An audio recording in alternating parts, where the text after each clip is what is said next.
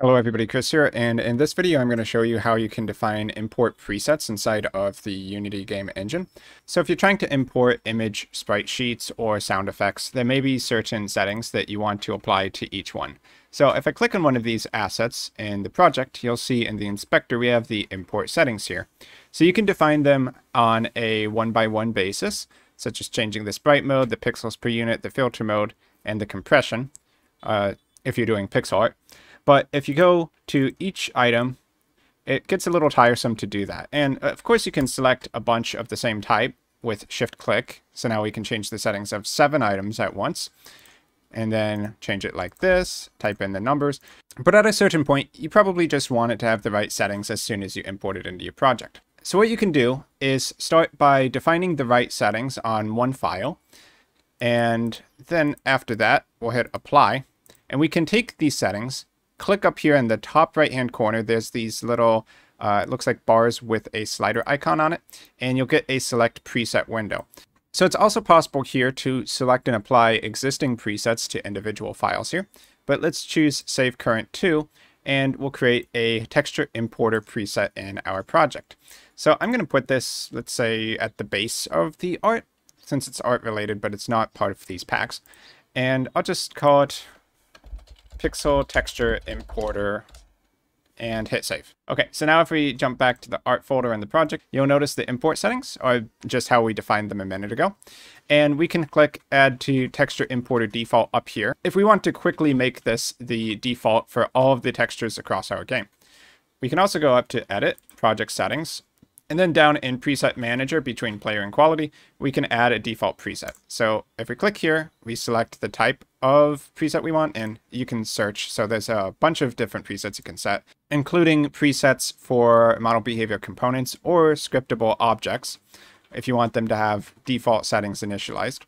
So uh, let's go ahead and do the texture importer though. So texture importer, and we can have a filter over here on the left which helps us if we need to define different sets of presets for different items or different folders in our project.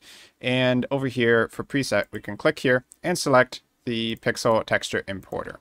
Now this is only going to apply to new items you bring into the project. So if you imported a bunch of images and they have the wrong settings, and then you create the preset, I would just remove everything from the project and then add it back in and it will be imported with this preset over here. Now you might also want to have uh, multiple options for different folders in your project. So for instance, you might have your art set up so that you have a tile set folder and tile sets are going to probably have the sprite mode to multiple all of the time. But maybe let's just say that you had a icons folder and every icon was already its own image then you might want the sprite mode in that case to import to single instead, since they would only have one icon per file.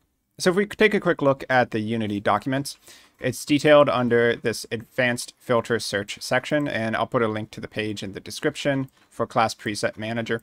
And you can see that you can define a glob in the search string and a search pattern as defined down here. So for instance, a simple one would be to use folder name and then slash the star represents uh, any actual file name here. And then if you'd like, also the extension here. So you could put .png instead of .fbx, which is a format for 3D models. So let's go ahead and test that. I'll add a, another option here to the list of texture importers. And we'll create a duplicate pixel texture importer. And I'll just change the sprite mode to single. And we'll give it a folder name, which that should apply to. So let me pull this over here for right now. And let's duplicate the presets, Control C, Control V. I'll rename this to be, let's just say single mode pixel texture importer. Okay, and we want the original to be at the top for our general one. Okay, I'll also get rid of that one there. Okay, so name's correct. And then let's say we have a icons folder. So I will do glob uh, colon quotation marks and then art slash icons slash star. And I'm just going to drop the dot .png. And I'm just going to drop the dot .png. And I'm just going to drop the dot .png. So I'll just have this applied to any texture that happens to exist in that folder or nested below. Okay, so let's go ahead and test if this works now. I'm going to start by deleting the enemies and pixel adventure packs from the project. So I'll just delete that right there. And you can see I have the zip file still in there. So I'm going to open that up in the Explorer.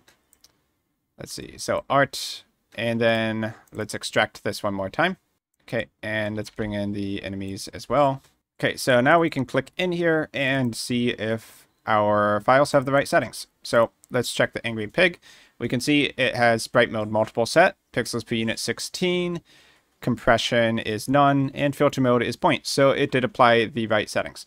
So now we want to test if the secondary texture importer actually worked. So we need to put some files into a folder called icons inside of art. So let's go to art and I'm going to create the folder here. I'll call it icons. Okay, and here I have an icon sheet I've been kind of working on. So I'm just going to save this into that folder. It'll be in uh, sprite mode single, which in this case, because this is one giant sprite sheet, we'd probably want it in multiple, but just to demo that the texture importer will actually apply in this case. So let's go to import presets, assets, art, icons, and let's save it here. Export from Aseprite. And so if we go ahead and click here, we can see that the sprite mode is still multiple. Uh, the reason for that is we didn't actually define the new setting for the pixel texture importer. So let's click here, double click, and we'll, we can change the sprite mode to single. All right. Now let's go back to the icons folder. We can see it still hasn't applied. We need to re-import it one more time. So I'm going to delete the icon sheet and then let's re-export it like so. And now if we click here, we can see it's in sprite mode single as we would expect. But at the same time, if we check any other folder, then we're going to see it's in sprite mode multiple. Now, of course, you don't have to just use folder names. You could also have a name for your files where maybe you name all of the animation sheets, something like dash sprite sheet. And then if you did a match based on that, then you can just have any file, which is named as a sprite sheet to be in multiple mode because generally those kind of files, like these run, idle, and hit animations of the mushroom, would be multiple mode because you need to slice up each of these individual files. But it's just kind of up to you on exactly how you want to set up your filters so that the right presets get applied to the right files. But that in a nutshell is basically the gist of how you use the preset manager and import presets inside of Unity. So I've been Chris. I hope this tutorial was helpful for all of you. Thanks for watching to the end, and I will see all of you in my future Unity content.